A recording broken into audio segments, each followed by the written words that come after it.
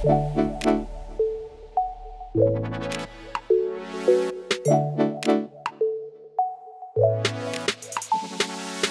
Ողջույն, մենք կայուն զարգացման նպատակների ազգային նորական կենտրոնի User Experience Design կամ օգտատերի փորձառության դիզայնի եւ Design Thinking կամ Design մտածելակերպի թիմերն եք ներկայացնում։ Ես Ռոզաննան եմ։ Ես Նայրին եմ, բարև ձեզ։ Ողջույն Նայրի։ Այսօր խոսելու ենք User Experience Design-ի մեկ այլ կարևոր երևույթի եւ կողմի մասին, որը էթիկական դիզայն է։ Գիշես նախորդ էպիզոդներում արդեն խոսել ենք User Experience Design-ի մասին, ինչպես այն տարբերվում user interface-ից, թե ինչ է design thinking-ը կամ design մտածելակերպը, որը մի ամբողջ փիլիսոփայություն է եւ կարևոր, այսպես շրջանակներից է, որ կիրառում է նաեւ user experience-ի մեջ։ Եվ իհարկե խոսել ենք նաեւ գործընթացներից, այսօր կանդրադառնանք մի կարևոր երևույթի, որը բոլորիս է առնչվում եւ որը դու շատ կշեշտես աշխատանքի ընթացքին։ Այո, իմ համար ամենակարևոր երևույթներից մեկն է, որպես user experience designer, ով շատ կարևորում է մարդկանց բարեկեցությունը եւ որոշակի սոցիալական պատասխանատվություն զգում, հա, այն բոլոր ստեղծած ապրանքների, թվային ծառայությունների համար, որ թելաբով ենք աշխատում, ընդհանրապես այն ամենը, ինչ որ ստեղծվում է մարդկանց համար։ Մինչ դրան անդրադառնալը կուզեի մի կարևոր հանգամանքի մասին խոսել։ Այսօր 21-րդ դարում փաստացի մենք գտնվում ենք մի իրավիճակում, երբ ցանկացած տեղից անսահման քանակի լիքը տեղեկատվություն ենք ստանում նկատած կլինես թե օրինակ ինչ որ բջջային հավելվածներ սովորական սկրոլ անելուց կամ ինչ որ տարբեր էջեր մտնելիս անդադ նորություններ կարդալիս եւ այլն մենք օրվա ընթացքում որը շատ սահմանափակ է դեմ 24 ժամ է ընդամենը դրա ընթացքում անընդհատ ինֆորմացիոն հոսքերի ենք ականատես լինում եւ անընդհատ ինչ որ տարբեր կողմերից աստակներ ենք ստանում որոնց պետք է ռեակցիա տանք եւ հետաքրքիր է որ օքեյ 24 ժամ ունենք, բայց փաստացի դրանից 7-8 ժամը քնում ենք, մնացած ամբողջ ընթացքը մենք ունենք համապակ քանակի ուշադրություն, ուշադրություն, որ օրինակ տնտեսագետները շատ հաճախ որպես այսօր սահմանում են նաև որպես ապրանք, ինչպես օրինակ փողը կամ սնունդն է ու համապակ քանակի է, հա, այսինքն 16-15 ժամը, որ մենք ունենք, դրա այդ ուշադրությունը մեզնից գրավելու համար մի շարք ընկերություններ պայքարում են իրար դեմ։ Այսպես հետաքրքիր մի սահմանում է առաջացել, կոչվում է ուշադրության տնտեսություն, փորձես օգնել միգուցե սահմանենք իրար հետ։ Կարծեմ դժվար չէ պատկերացնել, որ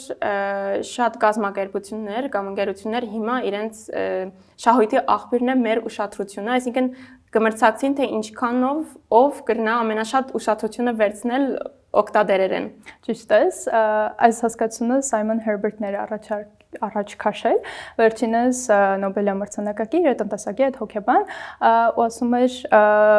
ինչքան շատ է ինֆորմացիոն հոսքերը, ինչքան շատ է ինֆորմացիան, այնքան աղքատիկ է ուշադրությունը, այսինքն այնքան սկսում է կրճատվել ու միայն որ հիմա հերոստատիտողներն էլ հա մեզ նախընտրել են մեր էպիզոդը դիտել, արդեն նշանակում է որ ինչ որ ուրիշ բան չեն անում, հա, այսինքն ուշադրությունը սևեռել են այս էպիզոդի վրա։ Նույն կերպ օրվա ընթացքում որոշումներ են կայացնում ու առաջնահերթություն են անում, օրինակ օգտվում օգտվում եմ Facebook-ից, բայց դրա փոխարեն չեմ անում մեկ այլ բան, ու փաստացի միայն այն հանգամանքը, որ մեր ապրանքի այս դեպքում ուշադրության համար պայքարում են շատ ընկերություններ, նշանակում է, որ ինչ որ հնարքների են դիմելու, որ կարողանան քո ուշադրությունը սևեռել հենց իրենց եկամուտի հիմնական աղբյուրի, փաստացի բջջային հավելվածից կամ product-ից օգտվելու վրա։ Այլ կերպ ասած, մոտ 10 տարի առաջ, երբ որ UX դիզայնը առաջ եկ, նո առաջ եկել էր արդեն, բայց սկսեց լայն տարածում գտնել, ի սկզբանե բանը այո օգտագործում էին, որպեսզի ավելի լավ խորապես հասկանային մարդուն եւ վերջինիս հոգեբանությունը, սրա մասին վարկաբանության էպիզոդում էլ ենք խոսել, բայց փաստացի քանի որ կարիք կար մրցակցել մյուս բոլոր ապրանքների դեմ, սկսեցին սա երկկողմանի թերի նման օգտագործել, այսինքն իմանալով մարդկանց վարկագիծը, թե ինչ խոցելի կողմեր ունեն, սկսեցին մարդկանց դեմ ինչ որ առումով օգտագործել։ Վատ իմաստով չէ, բայց մի փոքր մանիպուլյացիոն հնարքներ սկսեցին ի հայտ գալ։ Իսկ կան օրինակներ այդ հնարքների։ Ինձ թվում է առօրյայում շատ էս առնչված կլինես։ Իհարկե այսօր սկսել են քչանալ դրանց քանակը, բայց փաստացի նույնիսկ սահմանում կա, ասում են խապուսիկ հնարքներ։ Օրինակ երբևէ եղել է որ Այսինքն մենք նույնիսկ չենք նկատել, որ շատ դեպքերում չես նկատում կգիրառվին այդ հնարքները։ Ճիշտ է, մանիպուլացնում են։ Օրինակ հավանաբար ունեցել ես դեպք, երբ բաժանորդագրվել ես ինչ որ մի ամսակրի on-line թեկուս, արդյոք բարդ է եղել քո համար բաժանորդակրումից դուրս գալը։ Այո, վերջերս չէ, բայց ես կհիշեմ, որ կարելի է ասել 5 տարի առաջ շատ բարդ էր գտնել բաժանորդակրությունը դադարեցնելու գոճակը։ Հիմա, ինչպես որ նաև Թունիսի շատ ավելի հեշտ է, կարծես թե ինչ որ բան նաև փոխվել է։ Փոխվել է, հա։ Փաստացի ինչ որ 12 քայլ էր անում, հետո պետք է զանգայրեր, խմբագրություն եւ այլն, հնարավոր է բարթացնել, հա, ինչ ես, հա։ Այս շատ իհարկե բարձր է ու քեզ կարծես թե մեղավոր է իսկում, որ հիմա էլ պետք է պատճառաբանես, վայ, ինչպես կարելի է իրանց կոնտենտից այլ ես օգտվելու։ Նման հնարքները շատ-շատ էին ու դրանից զատ էլի օրինակներ կան, օրինակ confirm shaming ասվածը, եւ ի հայերեն բառացի թարգմանենք հաստատման ամոթանք, երբ որ օրինակ կայք ես մտնում, pop-up պատուհաններ են բացվում, որտեղ օրինակ կոմերցիոն կայքեր մա շատ լինում, ասում է, եթե մեզ քո էլեկտրոնային հասցեն տաս, մենք ես 10% զեղչ կտանք, հա, ու այնտեղ կոճակները, որտեղ ուզում ես ասել, ոչ չեմ ուզում, սովորաբար լինում է ոչ չեմ ուզում, ես այդ 10%-ից օգտվեմ, կարծես թե ուզում օգտվել այդ 10% զեղչից։ Հա, քեզ մի տեսակ հիմար է զգում, չէ՞, ոնց որ ոնց ես չօգտվեցի այս 10%-ից, բայց մի տեսակ մանիպուլյացիոն փոքրիկ բաներ, որ չես նկատում, բայց հոգեբանորեն այդ reverse psychology psychology են անում քո վրա, այսինքն հակառակ աստվածությունով, հա, այսպես ազդում են քո վրա։ Ուրիշ օրինակներ սովորական խանութներում եք տեսնես, ու էլի կոմերցիոն կայքերում շատ է լինում, սղության տարբերակը, երբ որ ասում եմ վերջին, չգիտեմ, ջինսի տաբատն է մնացել խանութում, շտապիր գնել, ու դու մտածում ես, ով ոչ վերջին օրինակն է, ինչ որ հրապուսիկ է, որովհետև կգնայև վերջինը չլա։ Կարող է չլինել, հա, շատ ճիշտ է։ Նույնն էլ օֆլայն խանութներում էլ մեկ-մեկ վերջինը չի լինում, բայց այնպես են վերջին կտորը ներկայացնում, քո մոտ ինչ որ հրատապություն է ստեղծվում ստեղծվում արհեստական, հա։ Նույնը էլի հրատապությունը, որ օրինակ գնիր այսօր միայն այսօր այս ակցիան, ու դու ասած ինչ որ չէր էլ ուզում գնեիր իրականում, բայց փաստորեն գնում ես, որովհետև ով ոչ ես իմ համար բացառիկ ինչ որ հնարավորություն է։ Եվ եթե փորձենք այս dark pattern-ները կամ խապուսիկ հնարքները սահմանել, այսինքն կայքում կամ ինչ որ ծառայությունից օգտվելիս, քեզ նաջ են անում, խթանում են այնպիսի գործողություններ անել, որ ի սկզբանե չէր էլ նախատեսում որ կանես, հա։ Եվ այս հնարքների կիրառումը շատ-շատ տարածված էր տասականների սկզբին։ Ես հիշեցի նաև ուրիշ օրինակ, որ իմ կյանքի ընթացքին պատահած էր օրինակ on-line քնումներու ժամանակ, երբ որ ուշ կնկատես, որ զամփյուղի մեջ ավելորդ ինչ որ իրեր ավելցած են առանց քո ընդրության։ հա։ Արդյոք այս նաև կմտնեն նույն դրամաբանության մեջ։ Քո ասածը այո, sneak into basket-ն է, զամբյուղի մեջ գողտրիկ կամ այսպես գախնի ձևով ինչ որ բան ավելացնելն է այսօր շատ ավելի քիչ են անում, որովհետև ավելի ակնհայտ էր։ Շատ հաճախ չես իմանում ինչ որ բանի ես կպնում, իրանք դա արդարացնում են, որ դու ես արել։ Շատ դեպքերում ինչ որ շատ փոճուր, ինչ որ 0.1 դոլարանոց, բայց ինչ որ մի բան են ավելացնում, չես նկատում, երբ որ շատ գնումներ ես հա անում, բայց հա կա եղել է նման պրակտիկա, այսօր ոնց որ ավելի քիչ են անում, ավելին ասեմ, այս վերջերս 2019 թվականին Princeton-ի համալսարանում փորձ էին արել, վերցրել էին 53000 կայքեր եւ ուսումնասիրել էին այն ինչ տիպի հնարքներ են օգտագործում ու կիրառում, կարող ես գուշակել քանի տոկոսը մոտավորապես կար դեռ, որ dark pattern-ներին կիրառում։ Կենթացրեմ, որ 50-ն ավելի։ Այդ 2010-ականներին էր, այսօր քչացել է 10%, ավելի քիչ։ 10%, բայց էլի մեծ թիվ է իրականում, պատկերացրու, որ դեռ նույնիսկ երբ մարդիկ ավելի իրազեկված են, դեռ մարդիկ շարունակում են ինչ-որ ընկերություններ օգտվել ինչ-որ արդներից, փոքրիկ հնարքներ անել։ Չգիտեմ, օրինակ կարող է լինել տեսանյութ ես դիտում ու քեզ ստիպում է երկու հատ գովազդ իրար հետևից դիտել, հակառակ դեպքում քեզանից գումար օրինակը կանցի, որ դու skip անես, հա, բաց թողնես գովազդները, ու սենց ինչ որ բաներ, որոնք էլի dark pattern են։ Իսկ հետաքրքրական է, եթե կան ինչ որ սկզբունքներ, որ դիզայնը կդարձնեն ավելի էթիկական։ Կամ օրինակներ այդպիսի դիզայններու շատ լավ ես նշում, որովհետև հենց դրան ենք հասնելու, փաստացի այն որ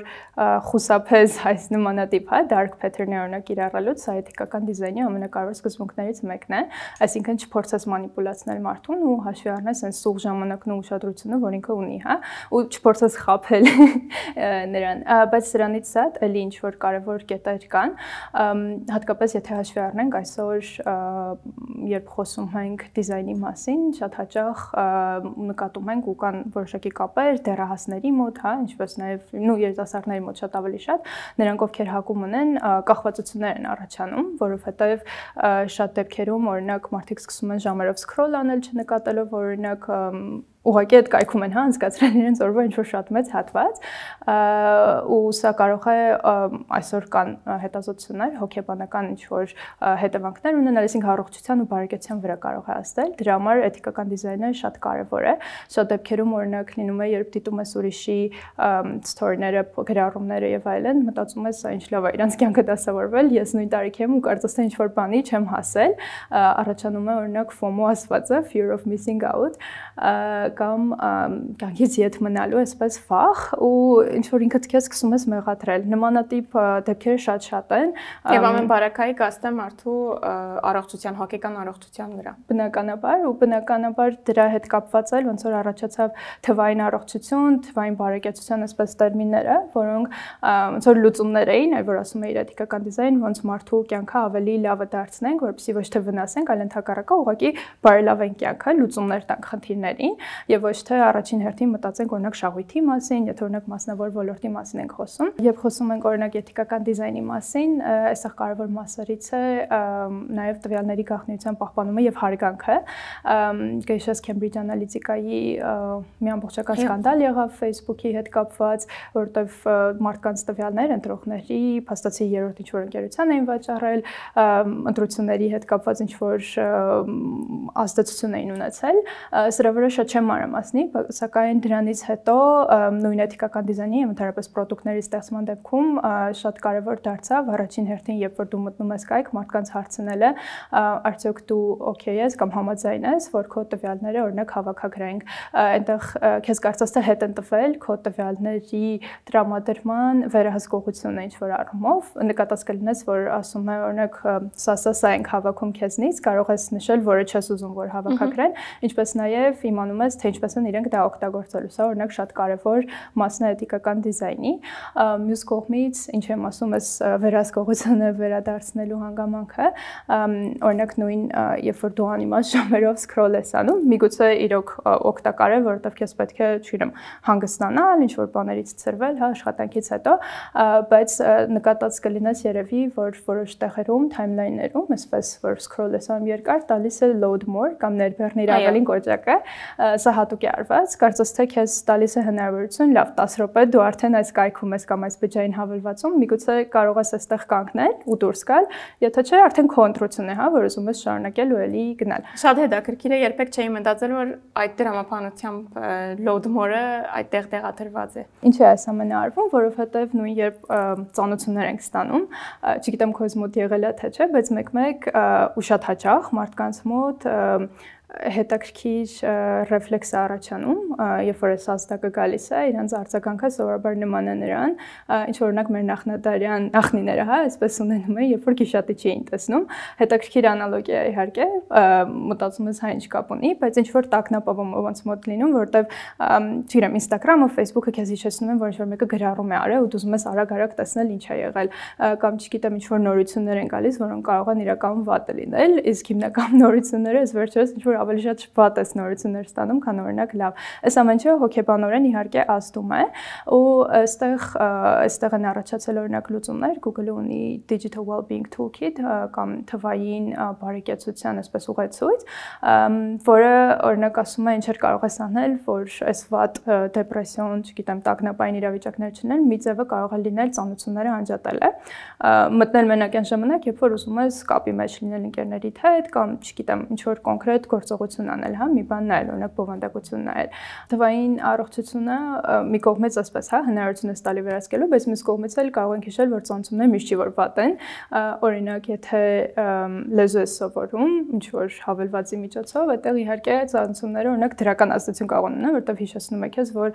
չգիտեմ, օրվա բառը սովորիր կամ, չգիտեմ, հիշիր, որ պետք է կրկնես երեկվա սովորած 5 բառերը։ Այսինքն այս ընտրողականությունը թույլ է տալիս ինչ որ առումով վեր վերահսկողություն ձեռք բերել սեփական ժամանակն ու ուշադրությունը սահմանելու վրա, հա, ինչի վրա է սեփաշխում եւ ինչից էլ չես անհանգստանում։ Այո, որովհետեւ անսահմանափակ հիշեցումները նույնպես կնան առաջացնել մեղավորի զգացում, որը կաստե մարդու հոգեկան առողջության վրա։ Ճիշտ է։ Եվ փաստացի, բացի խապուսի քնարկները ընդհանրապես չկիրառելուց, մյուս կողմից այսպես թվային առողջության մասին մտածելիս գաղտնիությունը տվյալների գաղտնիությունը, այսպես հարգելից զատ, շատ կարևոր է նաև հիշել կոդիզայնի մասին, որտեղ մի քանի կարևոր այսպես սկզբունք կա։ Կոդիզայնի մասին շատ ենք խոսել design thinking-ից, այստեղ շատ չեմ կանգնի, բայց կարևոր է այն հանգամանքը, ինչով է տարբերվում նույն design thinking-ը մնացած տիպի մասնակցային, այսպես product-ներ ստեղծելուց, այստեղ անցում է կատարվում օկտատիրոջ վրա ֆոկուս դրվելուց մարդակենտրոնին, որտեղ մարդը ոչ թե ուղղակի ինչ-որ մի պահի մտնում է եւ ինչ-որ կարծիք է արտահայտում, այլ նաեւ որոշումների կայացման մեջ դեր ունի։ Այսինքն այն, որ մենք խոսում ենք օրինակ design thinking-ի գործընթացների մասին, ամեն փուլում դու միշտ գնում ես եւ օկտատիրոջ հետ միասին ես մշակում, հա, գործիքը, նրանց կարծիքը հարցնելով, նրանց հետ ամեն ինչ վալիդացնելով, եւ սա շատ կարևոր սկզբունք է դիզայնի համար էլ, ոչ թե ինչպես նշում ենք, ենթադրությունների վրա հիմնվել, այլ փորձել ճիշտ խնդրին ճիշտ լուծում տալ։ Այստեղ շատ չեմ կանգնի, որովհետև խոսել ենք արդեն։ Դրանից զատ կարևոր սկզբունքներից է էթիկական դիզայնի հասանելիության ապահովումը, գեշա շատ ենք խոսել նախորդ էպիզոդներում։ Հասանելիության հետ կապված էլի սահմաններ եւ այլն չենք ասի, բայց հատկապես հանրային ոլորտում ամենաանտեսված երևի խնդիրներից է հանդիսանում։ Գեշաս երբ որ մեր product ծրագրերը ստեղծում էինք, խոսում էինք ինչքան կարևոր է web content accessibility guideline օրինակ օգտագործել, որը հատկապես բարև բարեկի բարակային, որ խոսեցանք անցած անգամ, շատ հաշվի արինք տարբեր սկզբունքներ, տարբեր մոտեցումներ, մինչև մեր վերջնական որոշումներ կայացնելը։ Որովհետև տարբեր մարդիկ կան ու հասանելիությունը ասում էինք, բոլորը կարող են տարբեր ֆիզիկական, մտավոր եւ այլ սահմանափակումներ ու ունակություններ ունենալ, բոլորի համար պետք է լուծում, հա, գտնես։ Այո, կարծես թե գտվա որ դու միայն մեկ սեգմենտի համար կաշխատես կամ քո product-ը ուղղված է մեկ սեգմենտի, բայց հետաքրքրական է որ այդ մեկ սեգմենտի մեջ կան բազմաթիվ այլ շերտեր սեգմենտներով, որը հնարավոր չէ բաց թողել կամ հաշվի չառնել։ Եվ շատ ճիշտ է, իրականում, ինչպես նշեցիք, տարբեր մարդիկ կան, փաստացի լսողական խնդիրներ ունեցող մարդիկ շատ տարբեր տիպի են ու տարբեր փորձառություն են ունում մեր բջջային հավելվածը օգտագործելիս կամ օրինակ հանրային ծառայությունը, քան օրինակ տեսողական խնդիր ունեցող կամ սահմանափակումներ ունեցող անձինք։ Այստեղ կարևոր է նաև հիշել ինկլյուզիվության սկզբունքը, էլի էթիկական դիզայնի կարևոր մասերից է ներառականությունը, էլի շատ ենք խոսել ու շատ ենք փորձում մեր իսկ առօրյայում եւ մեր աշխատանքում կարևորել։ Այստեղ օրինակ կարևոր հանգամանքային է, եթե փորձում ենք ստեղծել գործիք, որը հաշմանդամություն ունեցող անձանց համար հեշտացնում է ենթադրենք աշխատանքի ընդունվելը, շատ կարևոր է, որ թիմում ունենանք նման մարդ Հակառակ դեպքում կարծես թե էլի մեր ենթադրությունների վրա ինչ որ բան ենք անելու, իսկ իր կարծիքը, ինչպես դու եք նշում մեր design thinking-ի էպիզոդի ժամանակ, մտածելակերպի ու փիլիսոփայության կարևոր Կամ եթե թիմի մեջ չկա նման անդամ, կարելի է մաքսիմալ փորձել ապրումակցիլ դարբեր հաշմանդամություն ունեցող մարդոց հետ։ Այո, շատ ճիշտ ես։ Ու իրանք անպայման պետք է լինեն քո շահագրգիռ խմբում, հատկապես եթե իրանց ըստ իրախավորում, կարծես թե հակառակ դեպքում դու քո համար ու քո պատկերացումներով ինչ որ լուծում կտաս, որը խնդիրը միգուցե չլուծի։ Շատ ճիշտ է։ Իսկ այլ սկզբունքներ կան, ինչպես կարելի է իրականացնել էթիկական դիզայն։ Էթիկական դիզայնը, որը փաստացի փորձում է dark pattern-ները չօգտագործել, հարգել մարդկանց տվյալների գաղտնիությունը, միաժամանակ ապահովել եւ խթանել քո դիզայնը, հասանելիությունը եւ նաեւ ինկլյուզիվությունը, ներառականությունը անպայմանորեն հաշվի առնել եւ իհարկե լինել մարդակենտրոն։ Այլ կերպ ասած, շատ կարեւոր է ինչ որ գործիք, թվային հարթակ, հանրային ծառայություն մշակելիս հարգել այն սամափակ ժամանակը եւ ուշադրությունը, որ մենք ունենք, այսինքն մեր օկտատերերը կամ սովորական քաղաքացիները ունեն եւ հաշվի առնել, որ իրական խնդիրներ պետք է լուծենք, որոնք պետք է լինեն եւ լուծումները պետք է լինեն ինտուիտիվ, պետք է լինեն արագ, հանրամատչելի, կարիք չլինի մարդիկ դրանք զրոյից սովորեն եւ ինչ որ առումով բեր դառնա իրենց համար։ Ճիշտ է, իմ ընկալումս, որ քո ուսած էթիկական լուծումներդ կամ սկզբունքներդ հավասարապես կիրառելի են եւ հանրային ոլորտի բարակային եւ մասնավոր ոլորտի բարակային։ Այո, շատ ճիշտ է, այսինքն այս սկզբունքները շատ կարևոր է բոլոր դեպքերում էլ կիրառել, որովհետեւ ամենավերջում քաղաքացին է կամ օկտատեր է մասնավորի դեպքում ով ուղակի կարիք ունի իր խնդիրների լուծման այս դեպքում եւ եթե քաղաքացին կամ օկտատերը երջանիկ չէ հետևանքները դժվար չէ պատկերացնել այո շատ ճիշտ է իրականում մեր վերջնանպատակը թե հանրային ծառայությունների դեպքում եւ թե մասնավոր ոլորտի դեպքում երջանիկ քաղաքացին է ում կյանքը ավելի բարեկեցիկ է իր խնդիրները լուծված են ու բնականաբար ավելի երջանիկ է ու ավելի զորացված։ Շատ լավ, շատ հաճելի էր քննարկել եւ զրուցել այս թեմայով քո հետ Ռուզաննա։ Իմանապես, մերսի, սպասում։ Սպասում։